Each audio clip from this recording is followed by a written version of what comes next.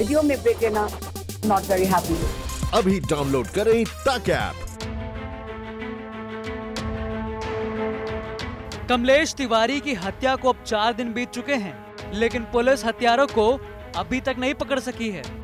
हत्यारे पुलिस को लगातार चकमा देते हुए लखनऊ के बाद शाहजहांपुर बरेली और मुरादाबाद के बाद अंबाला में घूम रहे हैं।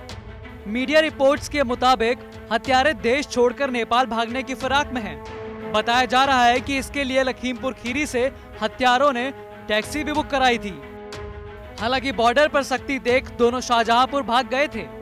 अब ऐसी खबर आ रही है कि दोनों हत्यारे कोर्ट में सरेंडर करना चाहते हैं।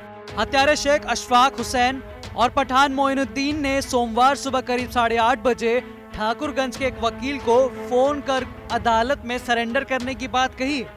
कमलेश के हत्यारों की कॉल से वकील के होश उड़ गए।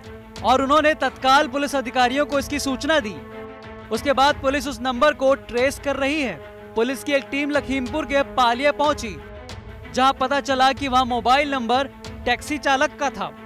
वहीं यूपी पुलिस की माने तो हत्यारे रविवार रात करीब 12 बजे टैक्सी से उतरकर शाहजहांपुर रेलवे स्टेशन जाते हुए दिखाई दिए थे।